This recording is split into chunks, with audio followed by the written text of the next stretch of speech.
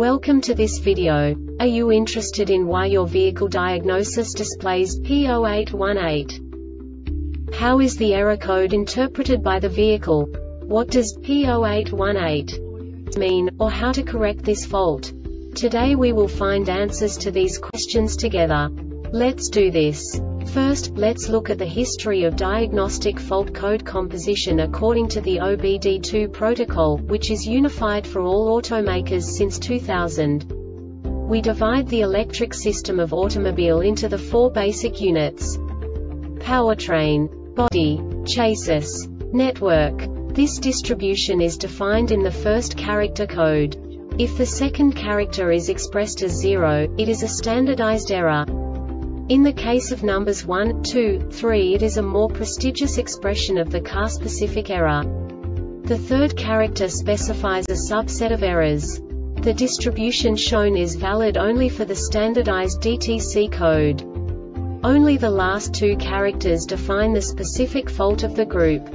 Let's not forget that such a division is valid only if the other character code is expressed by the number 0. Our website airbagreset.sk produces useful videos for you. You do not have to go through the OBD2 protocol anymore to know how to troubleshoot any car breakdown. You will find all the diagnostic codes that can be diagnosed in a Toyota vehicles. Also many other useful things. The following demonstration will help you look into the world of software for car control units. You unbelievably can move the video a bit further. The error code is split into two bytes consisting of 16 bits. One bit is the basic unit that each computer works with. The bit has two logical states. 0, low level, 1, high level. By combining the first two bits, the basic character of the error code is expressed. The next two beats again determine the second character. The last beat styles of the first byte define the third character of the code. The second byte is composed of a combination of 8 bits. The first 4 bits determine the fourth character of the code.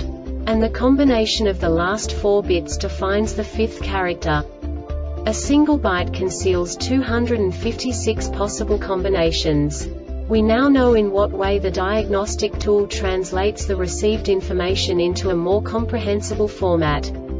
The number itself does not make sense to us if we cannot assign information about it to what it actually expresses.